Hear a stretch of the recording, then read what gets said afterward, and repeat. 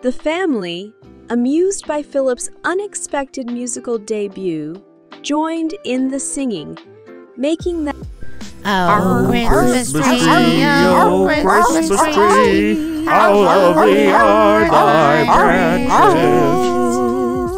Singing, making that Christmas one to remember with the delightful echoes of Filip's unique caroling.